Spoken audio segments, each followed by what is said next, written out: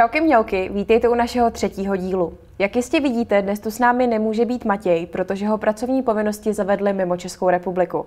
Takže dnešní díl bude trochu speciální. Vzhledem k Matějově nepřítomnosti jsme nuceni najít nové moderátorské duo a jelikož se k nám přidalo do letního semestru čerstvé maso, tak se pokusíme zjistit, zda někdo z nich je schopen nahradit Matějovi kvality.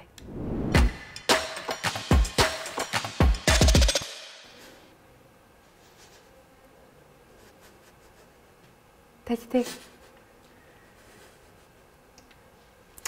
Tak to radši asi pustíte.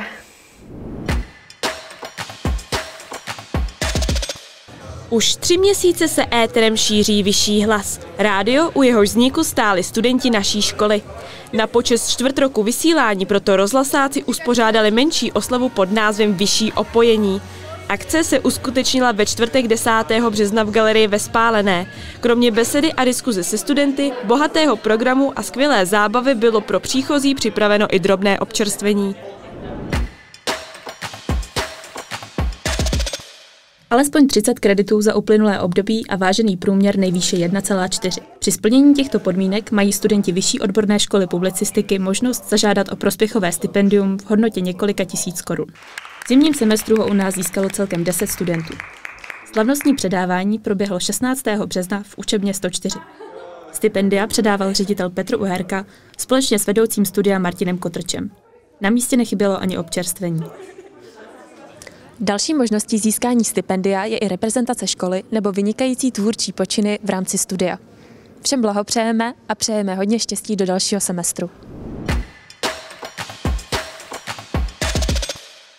Hoď si vlaštovku a pomož vylepšit voš. Marketingové oddělení přišlo s nápadem, díky kterému mohou studenti projevit svou kreativitu a přispět ke zlepšení školy. Vlaštovky přání se nachází v Opatovické i ve Spálené a studenti je pomocí hodu, vlaštovkové bitvy či klasického vložení dopraví do určeného boxu.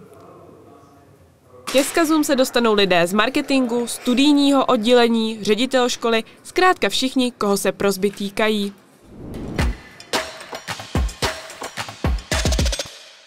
Týna na plác.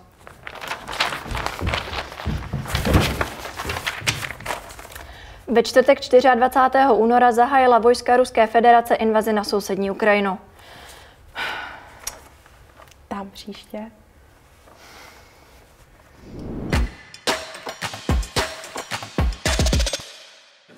Praha stojí za Ukrajinou. Stejnojmenou demonstraci narychl uspořádala česká a ukrajinská komunita s podporou hnutí Milion chvilek. Zúčastnili se jí desítky studentů Vyšší odborné školy publicistiky, ale i kantoři, včetně ředitele školy. Výjimečná situace dovolila zkrátit výuku. Už od páté hodiny se Václavským náměstím nesla slova podpory, ale i vulgární gesta v ukrajinštině, směřovaná na ruského prezidenta. Mezi asi třemi tisíci demonstrujícími vlály ukrajinské, české, slovenské, ale i běloruské vlajky. Protestující často přicházeli s transparenty odsuzující válku a Putina.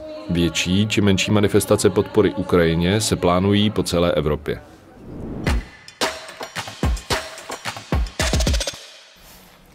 Obrovská vlna solidarity zaplavila... Hele, nechtěl byste tu kameru dát jinak? Dobře, Obrovská vlna solidarity zaplavila český národ v souvislosti s válkou na Ukrajině. To se tam nemůže být dobrý. Nejinak je tomu i u studentů a zaměstnanců VOŠP. Ne, to musíme znova, to nejde, já to nemůžu takhle.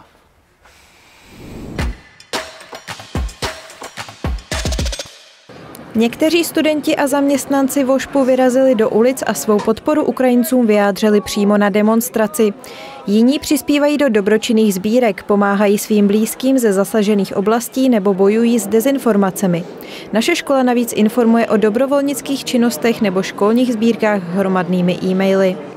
Teď jako scout, scoutský vedoucí, eh, tak jsem se účastnil u nás ve Vinoři sbírky vlastně skautské sbírky, která směřovala na Storoměstské náměstí do Skautského institutu. Tak já se držím hesla, že obyčejný člověk má pomáhat obyčejným lidem a snažím se prostě pomáhat eh, rodinám svých ukrajinských známých. To ani nejsou moji kamarádi, ale jsou to lidi, s kterými jsem se v životě potkával a jsou to v podstatě drobnosti. Také v okolí naší školy se nachází místa, kde lze spojit příjemné s užitečným a svým nákupem přispět na dobročinné sbírky. Pomáhat se dá ale i jinak než materiálně nebo finančně.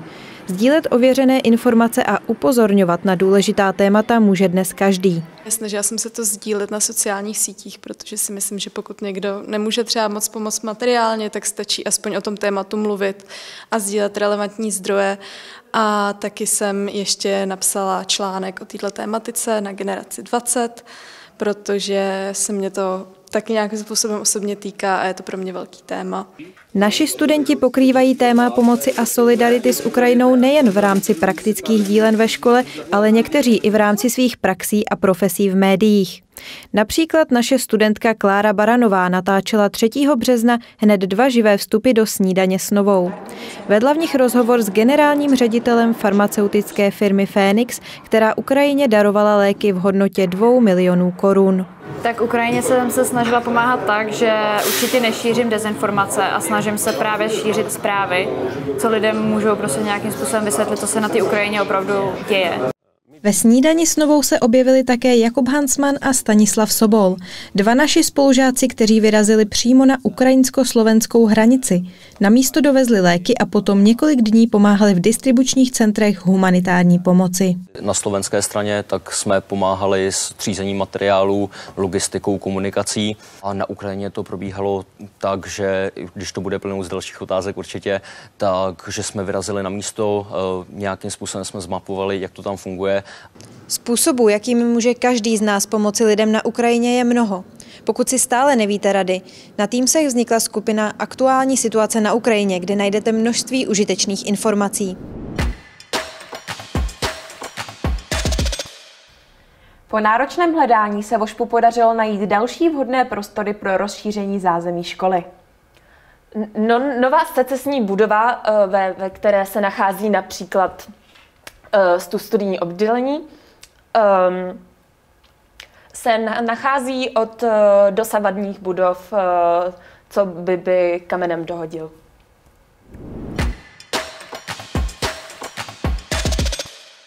Voš rozšiřuje svůj budovový park o spálenou 14. Studentů přibývá a z opatovické budovy se pravděpodobně v budoucnu stane hotel.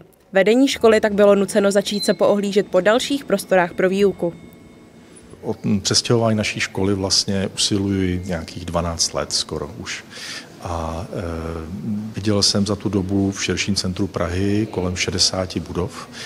Stal jsem se tak trochu realitním agentem a z těch všech, které byly k dispozici, tak v tom závěrečném výběru byly dvě. Do užšího výběru se společně se spálenou dostala i budova v Holešovicích. Z praktického hlediska byla ale zvolena spálená 14, kam se od úterý 8. března přesunula výuka některých modulů. Spálená 14 i spálená 8, to je základní rámec, do kterého se má vejít celá škola v současném rozměru. A máme to rozvrstvené, to znamená, počítáme s tím, že spálená 14, ta budova, ve které teď jsme, nová budova, tam budou některé typy akademických předmětů, některé typy dílen, vlastně věci, které jsou prioritní, řekněme. Ve spálené 8 tam budeme využít toho, toho, že jsou tam menší učebny, že je tam prostor dvora a tak dále. Architektem této budovy secesní byl Oswald Polívka, křtěný Oswald Erasmus Polívka a je architektem řady významných budov. Jedna z nejznámějších je Obecní dům v Praze a tohle je vlastně jedna z jeho dalších autorských staveb eh, z počátku secese. A to, co tady vidíte v těchto těch prostorách, kde sídlí VOŠP, tak je takové pojetí, které sem jako úplně nezapadá, ale je moderní, je novinářské, je prostě pro, pro mladé studenty. Takže věřím, že se vám tady bude líbit. Spálená 14 je zatím v pilotním provozu. Plné zapojení do výuky se očekává až v příštím semestru.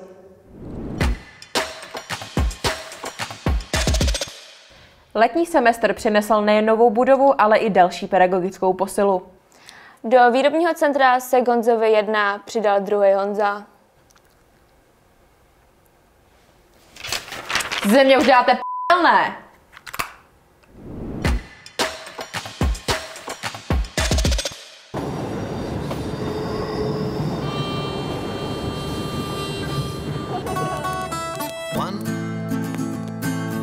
Herec, zpěvák, režisér Jan Foukal. Před 20 lety absolvoval VOŠP, nyní se vrátil na místo činu. Tentokrát však jako lektor.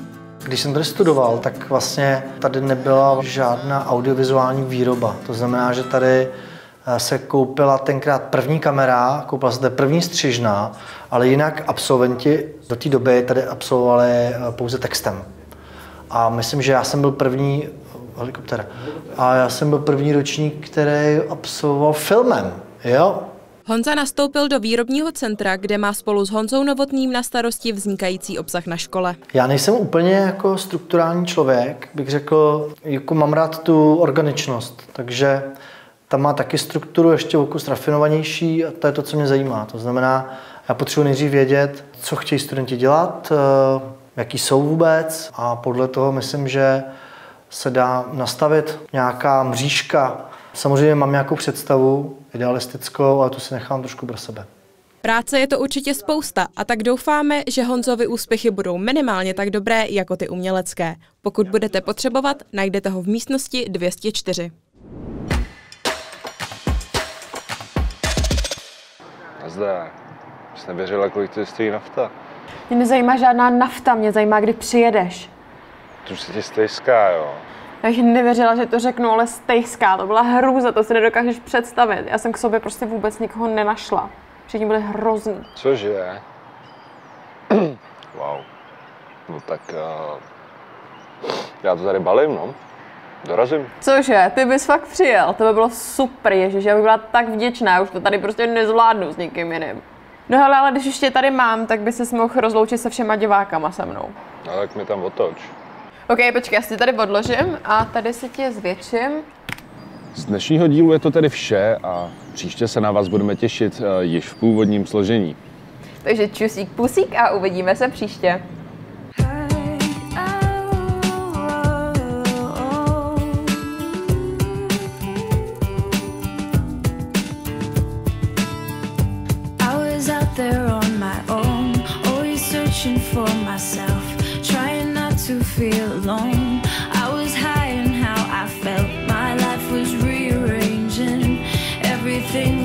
changing so fast, I could hardly catch my breath. Suddenly things turned around and they started looking up. And with my world turned upside down, you were there to change my luck. Now my heart is open. I was always hoping that